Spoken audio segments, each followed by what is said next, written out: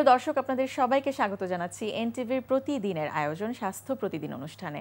আপনাদের সঙ্গে আছি আমি ডাক্তার সানজিদা হোসাইন দর্শক, যে বিষয়টি নিয়ে আজ আমরা আলোচনা করব সেটি হচ্ছে হাড় বা বোন ইনফেকশন এই বিষয়টি নিয়ে আলোচনার জন্য আমাদের মাঝে উপস্থিত আছেন যে বিশেষজ্ঞ চিকিৎসক। আমরা প্রথমেই পরিচিত হব তার সাথে। ডাক্তার রফিকুল ইসলাম উনিশশো সাতান্ন সালের জানুয়ারি মাসে নোয়াখালী জেলায় জন্মগ্রহণ করেন। তিনি উনিশশো আশি সালে চট্টগ্রাম মেডিকেল কলেজ থেকে এমবিবিএস ডিগ্রি অর্জন করেন।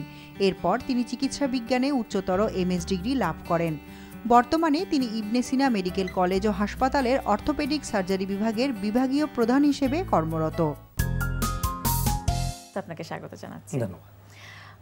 ইনফেকশন কথাটির সাথে আমরা সবাই কম বেশি পরিচিত। যারা সাধারণ মানুষ আছেন তারাও জানেন বোন বা হাড়ের ইনফেকশন আসলে বলতে কি বোঝানো হচ্ছে এখানে? ধন্যবাদ। আসলে আমরা ইনফেকশন আপনি যেটা বলেছেন সবাই পরিচিত। সাধারণত সফট টিস্যু ইনফেকশনের কথা ভাবি। যে একটা ফোড়া হওয়া একটা অ্যাপসেস হওয়া।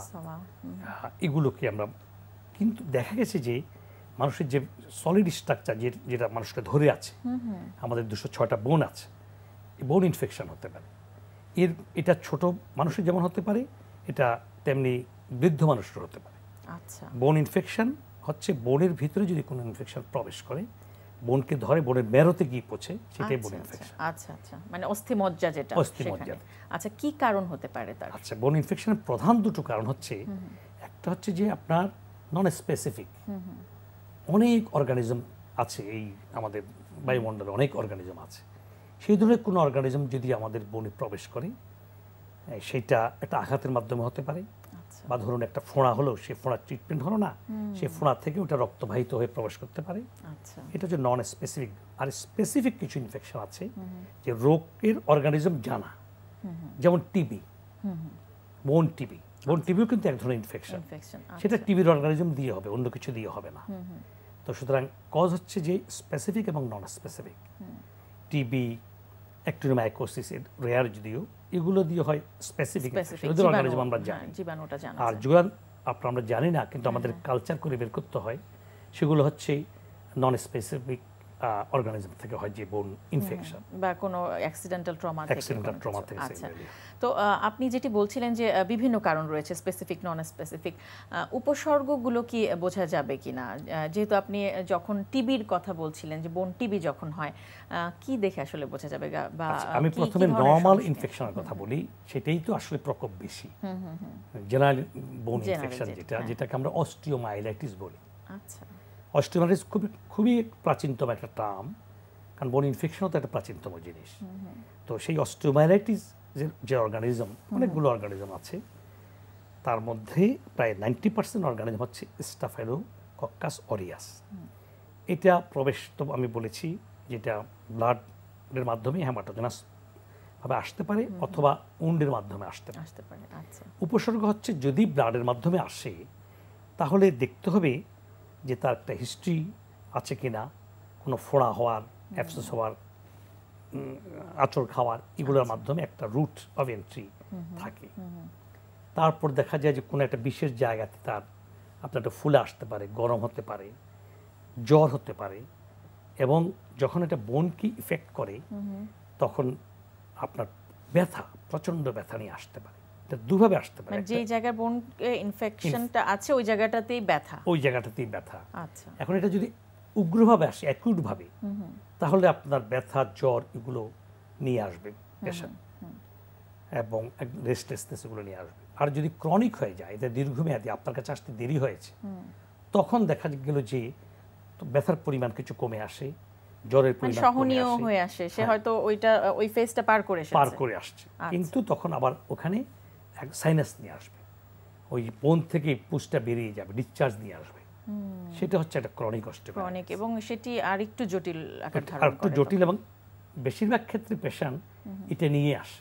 আচ্ছা। উগ্রতা নিয়ে যখন আসে তখন এই ধরনের রোগ আমরা কম পাই উগ্রতা নিয়ে। কারণ আগে মানে অ্যাকিউট কেসে আসলে আসে না রোগীরা আসে খুব কম। আমাদের কাছে কম আসে। আচ্ছা আচ্ছা। হয়তো দেখা যায় এটা পিডিয়াট্রিশিয়ানের কাছে গেছে মেডিসিনের কাছে গেছে। ওনারা যখন ডায়াগনোস করেন তখন তো কিছুদিন চলে যায়। তখন আমাদের কাছে সাব একিউট বা ক্রনিক ইনফেকশন নিয়ে আসে। আচ্ছা তো যখন এই জাতীয় সমস্যাগুলো নিয়ে আপনাদের কাছে আসছে তখন রোগীটাকে কীভাবে ম্যানেজ করেন? কিছু পরীক্ষা নিরীক্ষার মাধ্যমে আগে নিশ্চিত হন যে কতখানি এক্স্যাক্টলি আমরা প্রথমে দেখি যে রোগী কোন স্টেজে আসছে। অ্যাকিউট পেলে তো ভাগ্য ব্যাপার। তখন আমরা অ্যাকিউটের যে ট্রিটমেন্ট প্রথম কথা হচ্ছে তার ব্লাড কালচার নিয়ে আমরা। ব্লাডকে আমরা কালচার করে দেখি কোন অর্গানিজম দায়ী। আচ্ছা। এবং ওখানে যদি কোনো ডিসচার্জ অ্যাকিউটে তো ডিসচার্জ পাবো না। ব্লাড কালচার নেই। এবং যদি ব্যথা বেশি থাকে আমরা একটা স্প্রিন্ট করি। পাটাকে হাতটাকে একটা স্প্রিন্ট করে রেস্ট দিই। আচ্ছা আচ্ছা। অ্যান্টিবায়োটিক দিতে হয়। কালচারের রিপোর্ট আসার আগেই অ্যান্টিবায়োটিক শুরু করতে হয়। কালচার রিপোর্ট পেলে সেটাকে মডিফাই করতে হয়। আচ্ছা। আর পেশেন্টের যে জ্বরের জন্য ট্রিটমেন্ট যদি ডিহাইড্রেশন থাকে সেটার জন্য ট্রিটমেন্ট পেইন কিলারের জন্য ট্রিটমেন্ট এগুলো দিতে হয়। আচ্ছা। হাই ডোজ অ্যান্টিবায়োটিক দিতে হয়। এবং প্রেফারেবলি এটা দিতে হয় শিরার মাধ্যমে। মুখে খেলে সেই সময় এত ভালো কাজ করে আচ্ছা যেহেতু সে একটু জটিলতা নিয়ে জটিলতা এবং অ্যান্টিবায়োটিকের লেভেলটা আমাদের হাই রাখতে হয় সেই জন্য প্যারেন্টাল অ্যান্টিবায়োটিক আমরা প্রেফার করি। আচ্ছা। অনেক ক্ষেত্রেই এতে করেই এটা প্রশমিত হয় এটা কমে আসে। তখন আমরা এটা কন্টিনিউ করি। কিন্তু যদি দেখা যায় যে আমরা তার পরবর্তীতে এক্স রে করি যে তার বনে কোনো চেঞ্জ আছে কিনা বনে চেঞ্জ থাকার পর আমাদের সিদ্ধান্ত তখন নিতে হয় সেইভাবে কি ধরনের চেঞ্জ আসতে পারে বোনে ইরোশন হয়। আচ্ছা। বোন নিজেই ক্ষয়িষ্ণু হয়। বোনের একটা ওয়াল খেয়ে ফেলে। পুষটা ওই ওয়াল দিয়ে বেরিয়ে আসে। আচ্ছা। বের হয়ে এসে সাইনাস তৈরি করে। ডিসচার্জিং সাইনাস আমরা বলি। সেই সব ক্ষেত্রে আমাদের সার্জারি করতে হয়। ইনফেকশনটাকে অ্যাভয়েড করতে হয়। আচ্ছা ইনফেকশনটা বের করে সার্জারি করা ছাড়া তখন আর কোনো তখন আর কোনো উপায় থাকে না। আচ্ছা। তখন সেই ইনফেকশনটাকে কিউরেট করতে হয় এবং সাপোর্ট দিয়ে রাখতে হয়। এমনও দেখা গেছে যে ইনফেকশন বোনটাকে ফ্র্যাকচার করে ফেলে। ওটাকে আমরা প্যাথোলজিক্যাল যেহেতু আপনি বলছেন যে আস্তে আস্তে থিকনেস কমে যাচ্ছে বা নিজে ক্ষয় হচ্ছে বোনটা একটা সময় পাতলা হয়ে নিজে হয়তো ফ্র্যাকচার হয়ে যাচ্ছে। আচ্ছা। এটা বাচ্চাদের ক্ষেত্রে বেশি দেখা যায়। আচ্ছা আচ্ছা। আর বড়দের ক্ষেত্রে যখন ট্রমা থেকে হয় ধরুন একটা ফ্র্যাকচার হলো সাথে উন্ড ছিল ওপেন উন্ড ছিল। সেই ইনফেকশনটা হারবার করল। সেই ইনফেকশন প্রপারলি কন্ট্রোল হলো না। তাহলে তাহলে যে ইনফেকশনটা হয় সেটাও কিন্তু একইভাবে বিহেভ করে। তাহলে ইনসিডেন্স রেটটা একটু জানতে চাচ্ছি যে কাদের আসলে বেশি হচ্ছে বা কি অবস্থা বেশি হয়। বাংলাদেশে? যেটা যেটা অ্যাকিউট অস্টোমাইলাইটিস থেকে ক্রনিক হয় হ্যাঁ, হ্যাঁ। এটা বাচ্চাদের বেশি হয়। বাচ্চারা হয় কি ওরা তো ট্রমা প্রণ ওরা তো আঘাত পাবেই। এবং আঘাত পেয়ে তারা আবার হয়তো কিছু বলে না। কিংবা তাৎক্ষণিকভাবে খুব কান্নাকাটি করে তারপর কিন্তু আস্তে আস্তে তারা খুব রেজিলিয়েন্ট তো সয়ে যায়। হ্যাঁ হ্যাঁ সয়ে যায় সয়ে যায়। এবং অনেক সময় এটাকে খুব গুরুত্ব দেওয়া হয় না। হ্যাঁ হ্যাঁ হ্যাঁ।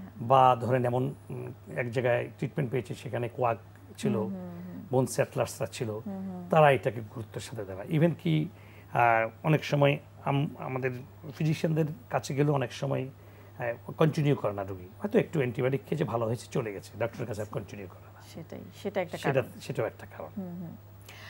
জটিলতা আপনি বলছিলেন যে যদি সময় মতো না আসা হয় সেটি সাইনাস এবং আরও বেশি জটিল আকার ধারণ করে। সেক্ষেত্রে সার্জারি আপনাদের প্রয়োজন হয়। সার্জারির পরবর্তীতে তার অবস্থাটা সম্পর্কে জানব যে তখন আসলে কি করা সময় নেই। ক্রনিক অস্টোমাইলাইটিস আপনার অনেক সময় নেই। এটা হিল হয় একটা ন্যাচারাল প্রসেসে অনেক সময় বোনটা ডেড হয়ে বেরিয়ে আসে। আচ্ছা। তখন আমাদের অপেক্ষা করতে হয় নতুন বোন ফরমেশনের জন্য। তো এটার অ্যাওয়ারনেসটা খুব ইম্পর্ট্যান্ট মেসেজটা এবং অ্যাওয়ারনেসটা যেই ছোট বাচ্চাদের সন্দেহ হলেই এক্সক্লুড করতে হবে যে তার অস্ট্রেমালিস হয়েছে কিনা। আচ্ছা কি কি দেখে বুঝতে হবে সেটি একটু যদি আমাদের মানে ছোট বাচ্চাদের কোন কোন উপসর্গ একটা একটা ফোড়া দেখলে শুধু ফোড়া হিসেবে এটাকে ট্রিটমেন্ট করা যাবে না। আচ্ছা।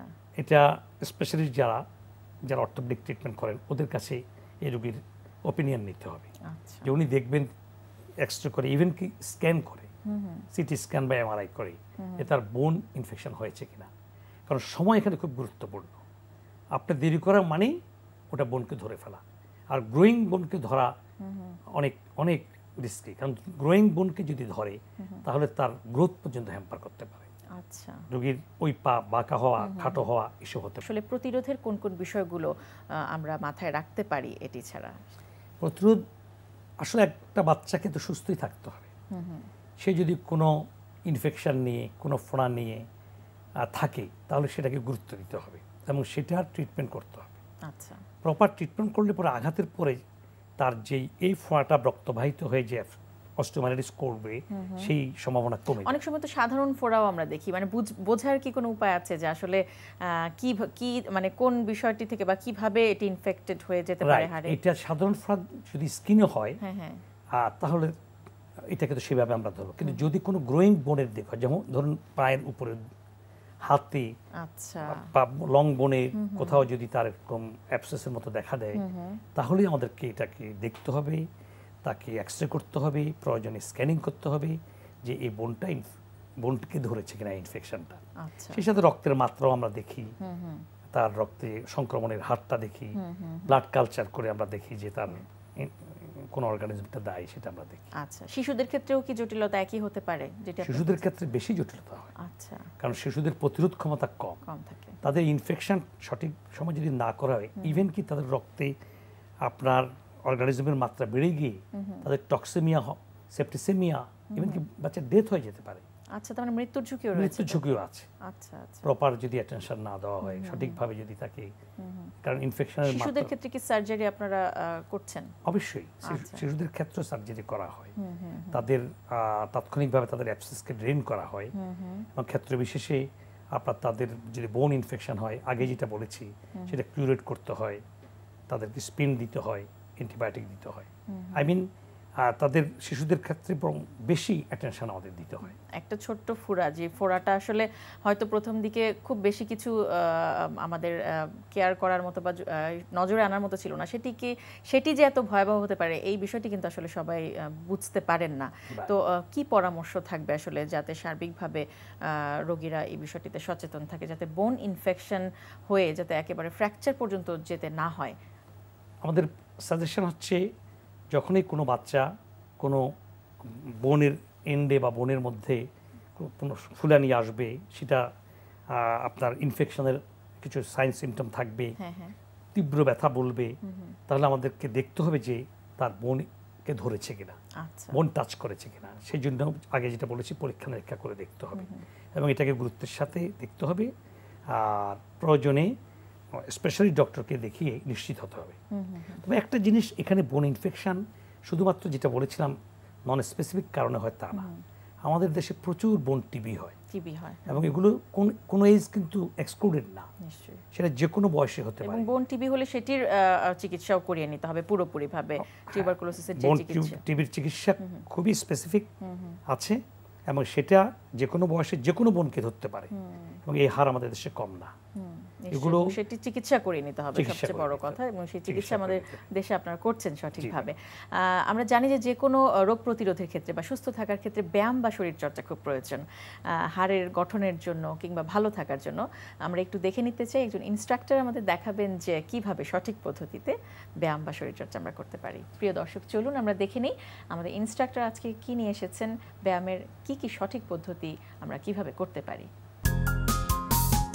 আজকে আমরা যে ব্যায়ামটা করব এতে আমরা ফোকাস করছি যে কোমরে যাদের ব্যথা আছে কিংবা পায়ের ফ্লেক্সিবিলিটিটা খুব কম, যেই কারণে দেখা যায় যে অনেক সময় কোনো মুভমেন্টে একটু উঁচু জায়গায় পা ছড়িয়ে দিতে গেলে কিংবা পাশে ছড়াতে গেলে ওনাদের খুব পেইন হয় কিংবা খুব টাইট ফিলিংস হয় এবং পরবর্তীতে দেখা যায় যে ওখানটায় অনেক সময় একটা কটকটে শব্দ করে বা মনে হয় যেন ওই জায়গাটা ফেটে যাচ্ছে বা হাড্ডিতে চির ধরছে।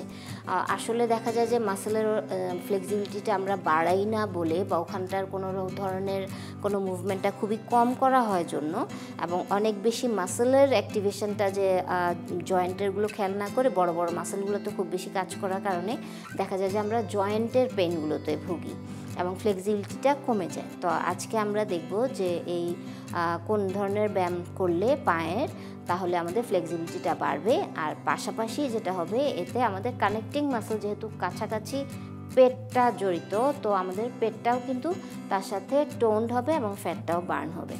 ওকে, তো আমরা সোজা দাঁড়াই। বাম পাশটা সামনে দিয়ে দাঁড়াচ্ছি।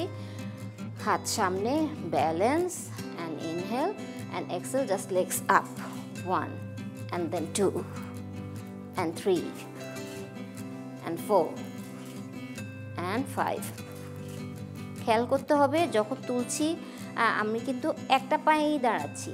তাই তো একটা পায়ের উপর। যখন আমি পাটা তুলছি, তার মানে কি? সাথে সাথে আমার ব্যালেন্সের একটা ব্যাপার দাঁড়িয়ে যাচ্ছে। যারা এ ধরনের সমস্যা আছে যে উনি ব্যালেন্সটা পাচ্ছেন না বা হাই প্রেশার আছে বা লো প্রেশার আছে, হঠাৎ করে মাথা ঘুরায় বা খারাপ লাগে, ওনারা কিছু একটা চেয়ার বা কিছু একটা ধরে করতে পারেন। আরেকটা হচ্ছে যে ফ্লেক্সিবিলিটি আমার অতটুকু তুলতে হবে বা আমার অনেকটুকু তুলতে হবে, এমন কোনো ব্যাপার নেই।